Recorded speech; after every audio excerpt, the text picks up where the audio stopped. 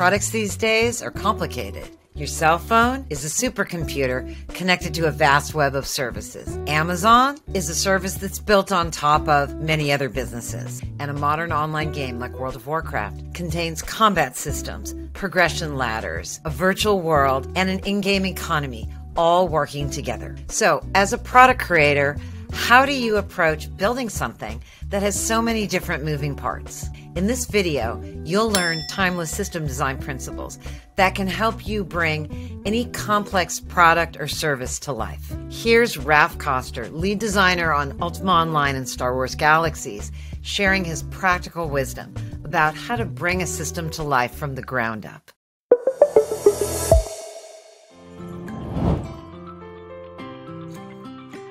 The first step is a bit of analysis. So you've got a goal, you've got a product goal in mind. It almost certainly means that there's objects in there that people are dealing with. It might be, I want to create this thing. It might be, I want to arrange these things. Wh- whatever that is. Make yourself a, a list of what are the things, like what are the objects, what are the components that are going into this mix. In the game World of Warcraft, for example, Objects include armor and weapons, which boost your item level, and consumables, which boost your health and other stats. Ask yourself, what are the numbers that move around? Identify those. Depending on what domain of systems design you're working in, these may have different terms. In economic systems, we call them currencies currencies are a number that moves up and down. In other systems, we, we might call them our resources. And sometimes they only go up. Sometimes they go up and you spend them and they come back down. The numbers in World of Warcraft include your reputation, job skill level, item level, and stats like strength, stamina, dexterity, and intelligence. Now, these stats can go up and down, but your experience points will only go up these are the bones and sinew of a system okay? These, these are the things that really make a system work. And one last thing what are the things a user can do? The verbs the inputs the buttons. You make a little list of those?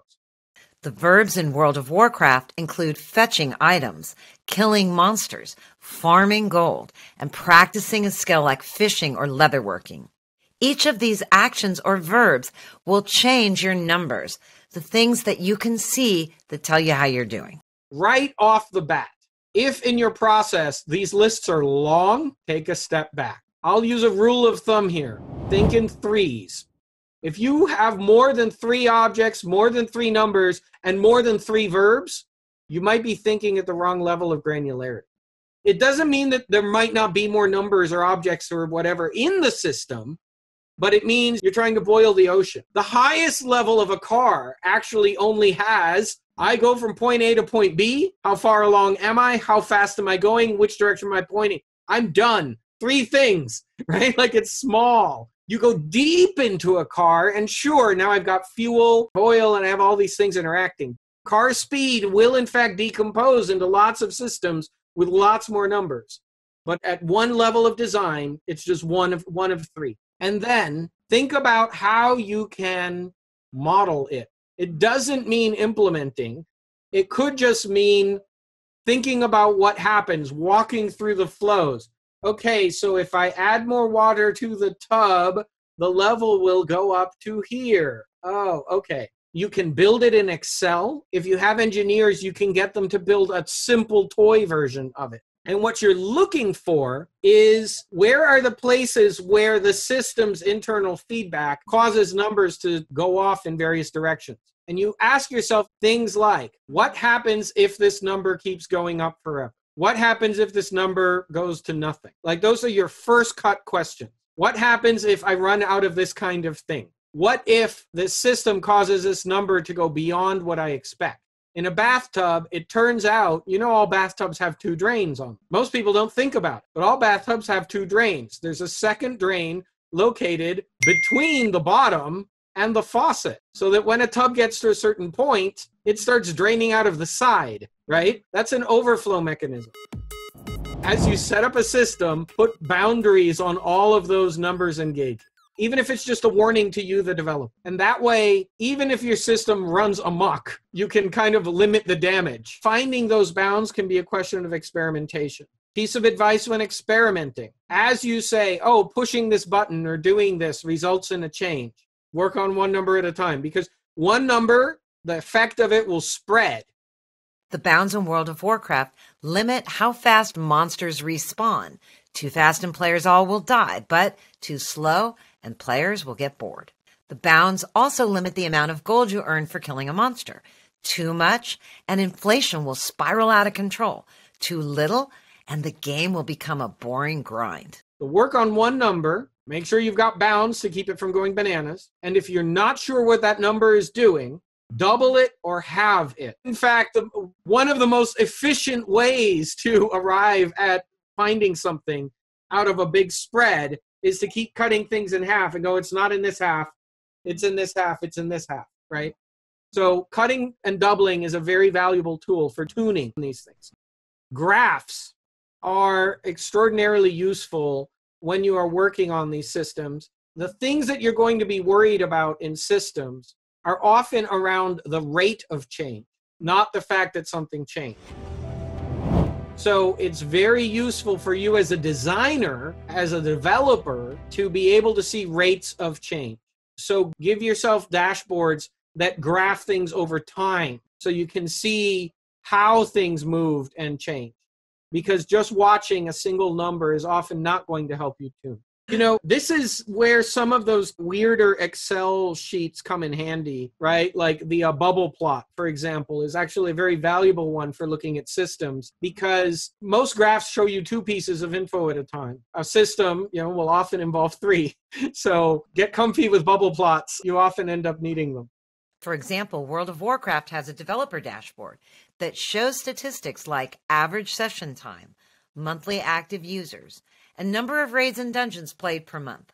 And the last thing, again, just to circle back, make sure you're doing this all with an eye towards the user's intent.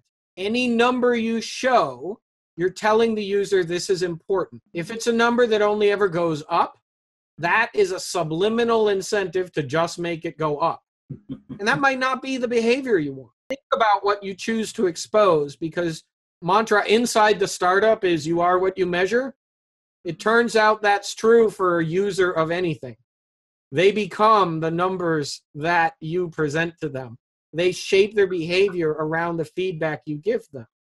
So think carefully about what you present back out and make sure it's in service of the user's actual goal. Feedback is actually a term that has overlapping, subtly different meanings that people who are comfortable in talking systems lingo pick up which of the, the meanings it is from context, and people who aren't don't, and therefore get very confused very quickly. When you interact with something, you know, I interact with the car, I hit the gas, I press the pedal. Stuff changes inside the black box. Cylinders move, car rumbles, all kinds of things go on in there. Chemical reactions, energy generated, blah, blah, blah. Most of that we don't know about. There are state changes that happen in the system, and we need to learn what changed, right? And so the system gives us information. It gives us a lump of information. We get to see the the RPM rev, right? We certainly hear the rumble, right? If you gun your car, you go ah, ah, right. Depending on what state the car is in, maybe the car leaps forward. That's pretty clear feedback. We hit the gas. We call that stuff feedback from the system. Just like when I ask someone for advice, I get feedback, right? What that meaning of the word means is oh, the loop is closing. I did something. Stuff happened magically inside the box. And then I get this lump of information back. That's one kind of feedback. And it's um, a very common casual usage. And if if one were trying to be more precise, one could break that down actually into uh, it's a dashboard of the state. It's specific reports on what changed, like what deltas there were, and so on. And then there is the more technical sense of feedback. And in this, we might think about what's going on inside the car. Okay. I hit the gas, the car is moving, and it is rolling downhill because I hit the gas. It had been steady and now it's going, but we're on a slope. If I hit the gas, I know the car is going to speed up. And it turns out that these two things affect each other. If I hit the gas while I'm on a downslope, guess what? I'm going to get an even larger effect than I thought. Because systems are nested, the kind of feedback where, hey, here's a dump of info, the kind we were just talking about, when something comes back at you, um, you take it in and you adjust what you're doing, right? Oh, my car started moving. Great. I take it in. Now I build on that and I start turning the wheel or I let off the gas or whatever. I make new decisions. Because systems are built out of smaller systems much of the time, what happens inside when one system gives feedback to another system is that they start doing things on their own that we don't even know about or that we aren't necessarily directly controlling. The technical term for those is that there are positive and negative feedback loops inside the system, right? Oh, I hit the gas and I'm on a slope. These compound in a way that isn't necessarily directly visible. As you approach the temperature in an oven, less heat gets put in because you're coming in to the temperature you want. Or um, compound interest in a bank those are examples of feedback loops within the oven, within the financial system. It's deeply connected to the other kind of feedback, but that's one of the places that people get confused fastest because positive feedback, when you say, I'm asking for advice, means you heard something good. And positive feedback, when you're talking about system dynamics, means a system that is incrementing values in an ongoing way where two systems that are moving are causing the system as a whole to gain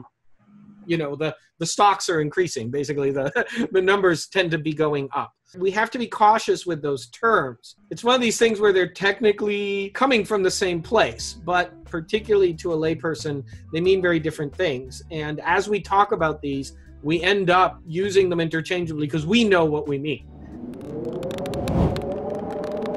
My favorite example of a system with unintended consequences was back when we did Ultima Online. For a while, we had a real problem with players attacking other players in the game. And so we tried to create systems that would reduce the incidence of that.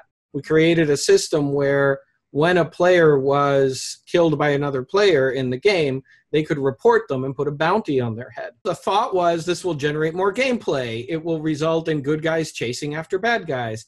And instead, the bounties became a high score table for bad guys and they competed to climb to the top of the latter. This isn't that different from the same system dynamic that today we see on, let's say, Twitter or gaming YouTube's algorithms, where people have set up systems that are supposed to be reinforcing good behavior, such as likes or replies, or in the case of YouTube, the algorithm driving you towards what's supposed to be interesting content and instead it's driving people to create outrageous content in order to draw eyeballs. And often the, that content is not what the platform wants.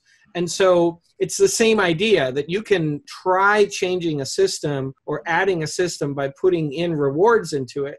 And if you don't understand the underlying system behind the rewards what it is that motivates people you might get out the exact opposite of what you wanted. But of course once you understand what's going on, the principle is very simple. You are rewarding attention. What gets attention? Outrageousness. No matter how well you design your system, there'll always be surprises. People can and will try and game any system you give them. That's human nature. So you're going to have to spend time tuning your reward system after its release once you see how people actually behave. It's hard work, but as every system designer knows, it's an essential part of the job. To learn more about system design, check out these videos. See you soon.